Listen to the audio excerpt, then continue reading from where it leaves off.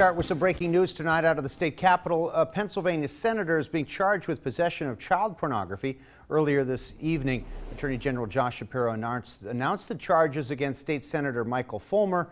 The investigation started because of a cyber tip reported that the electronic service provider Tumblr discovered a user uploaded an image of child pornography using their app. The investigation led to Senator Folmer's home in Lebanon.